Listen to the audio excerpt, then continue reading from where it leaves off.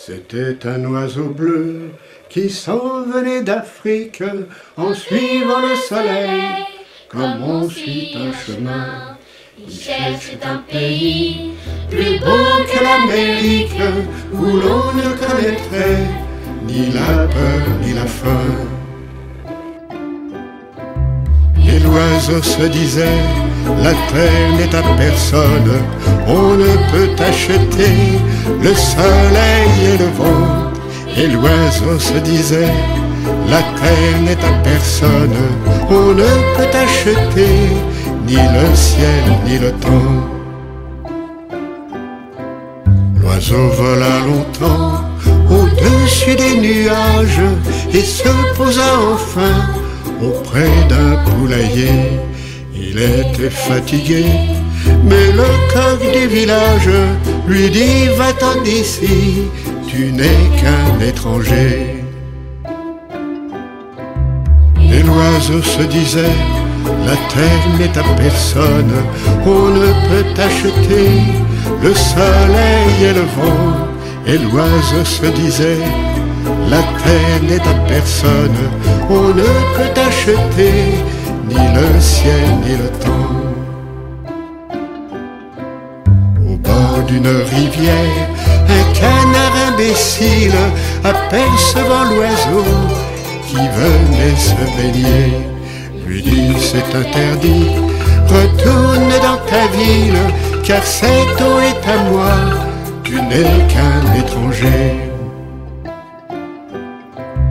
Et l'oiseau se disait, la terre n'est à personne, on ne peut acheter le soleil. Et l'oiseau se disait, la terre n'est à personne, on ne peut acheter ni le ciel ni le temps. Auprès d'un champ de blé, une souris inquiète apercevant l'oiseau qui avait ramassé une petite graine ou peut-être une miette, lui dit va-t'en d'ici, tu n'es qu'un étranger. Et l'oiseau se disait, la terre n'est à personne, on ne peut acheter le soleil et le vent.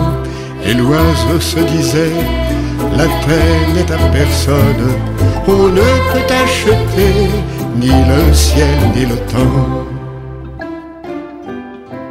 J'ai recueilli l'oiseau, le bel oiseau d'Afrique qui était épuisé sur le bord du chemin. Il est venu chez moi, bien loin de l'Amérique, et je l'ai réchauffé dans le creux de ma main. Et l'oiseau se disait, la terre n'est à personne, on ne peut acheter le soleil et le vent. Et l'oiseau se disait, la terre n'est à personne, on ne peut acheter ni le ciel ni le temps. Et l'oiseau se disait, la terre n'est à personne, on ne peut acheter ni le ciel ni le temps.